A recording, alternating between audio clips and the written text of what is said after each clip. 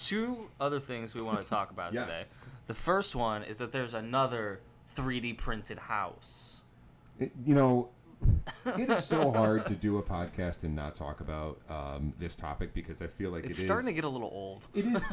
it is more and more prevalent. Um, I feel like every time somebody does it, they submit it to the news, like, "Wow, look what we did," and then it gets exciting for a second, and then everybody realizes, "Yeah, yeah, they've been doing this," Yeah. um, and it kind of dies down a little bit. But there are different. Here's the cool part: six thousand dollars, less than six thousand in materials. Mm. so That's pretty darn cool. And so, what I wanted to ask you, because there was a picture attached to the uh, article that you sent, which looked like a large gantry Yeah. standing over like the entryway to somebody's house. And that Yeah, was kind of like the final stage. what about um, modulars? You know, like if you build a you know prefabricated home, you have certain parts of that that are built off-site and then brought Yeah. in. Um, what could 3D printing do for like modular applications for a house? Like instead of um, waiting for the concrete guy to come and pour your foundation, you could do it and you know do it in 3D printed Yeah. and then do something. Are there Really- options for that? I don't know. Um, I don't think there are options. I don't think those are the ones that make headlines, but as a technology, I think that's probably where it makes a lot more sense. Yeah. Like prefab homes and just keeping this gigantic we're talking like a hundred feet by a hundred feet, massive 3D printer in one place and not trucking it all over the world. Is that the point right. of a modular home, though? A modular home is built inside in a dark warehouse, and the goal is to make a house as big as you can and as cheaply as possible that can fit on the back of a truck.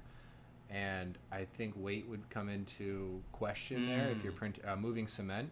But also, I don't think that a 3D printed home will ever be faster to build than prefabricated big pieces of plywood and just putting something together that's also really light to transport. You might be right, and I wasn't thinking about the weight. Mm-hmm. Um, the article mentions that to answer the time question, it saves 70% in time and in material cost. In comparison to a home built on location, a but not a modular home prefab modular home. where everything gotcha. is in shop, you have cranes going over you, you can move everything, everything doesn't have to be mobile. I don't think it's comparing itself Mm. to that. You know, that's a good point. I uh, I was reading some article the other day of China, who they are building hospitals and homes and like structures for people like within a day. Like well, they're big actually building it structures. off location and installing it there Yes. in a day. because they have like home factories Right. where they're building like prefab structures and then carting them out to be able to I believe it was quarantine people or house them or hospital them or whatever because of you know the coronavirus.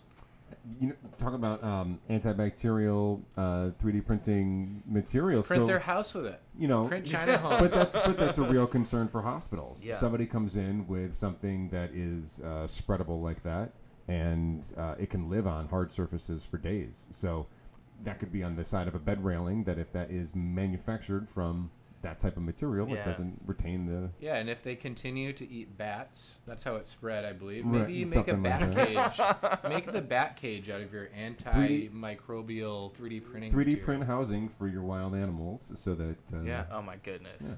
You guys have taken this a place that I did not expect. I have been apart from this one like news story that I read, I've been staying completely away from all of the coronavirus it's hard to hysteria. avoid It's it, hard yeah. because it's everywhere. Um, but I'm trying not to get caught up in it. But just Um, thinking that is a practical application. Coronavirus aside, hospitals, places like that, where, again, where you have those hard surfaces where you know they are constantly disinfecting schools. Yeah. And it was a great way to tie the first two stories together. Yes. So But back seamless to the That Pretty transition. printing. well.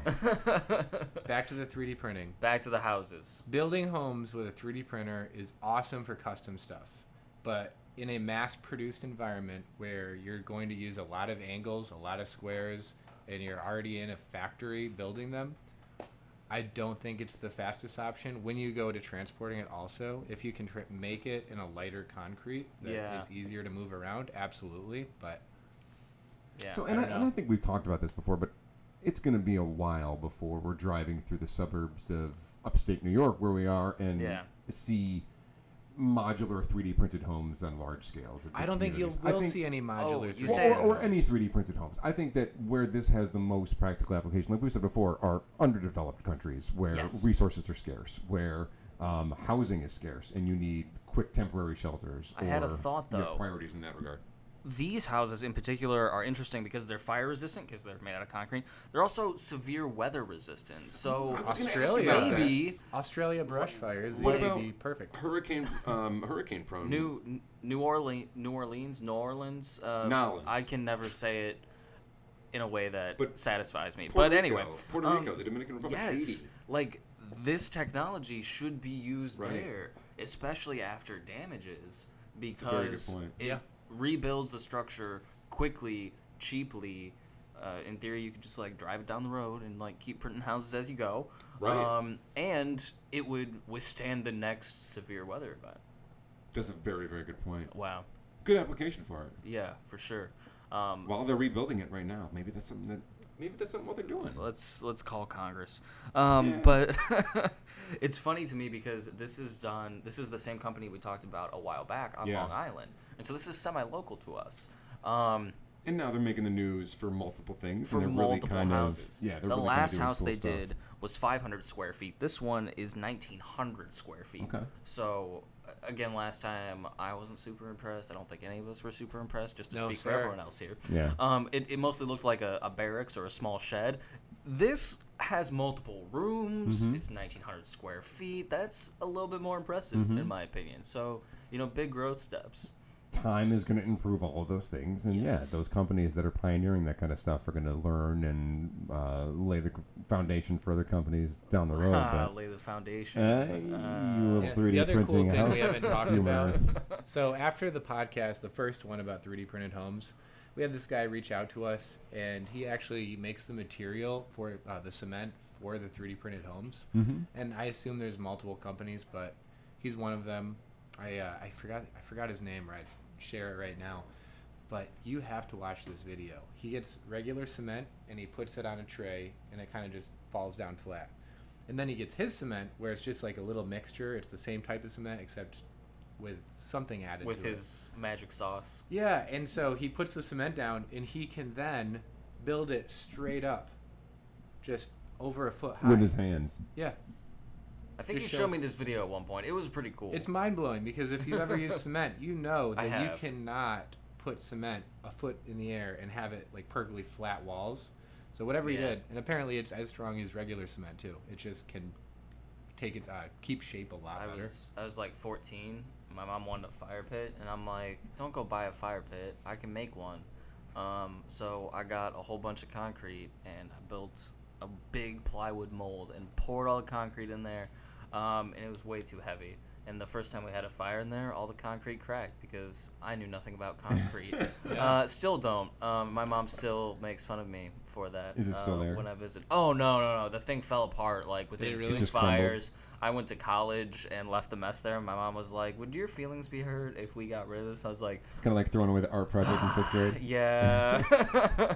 I wasn't offended though. I I recognized that the project was not. Was That's not good. important. It That's also important. wasn't like level, so it was.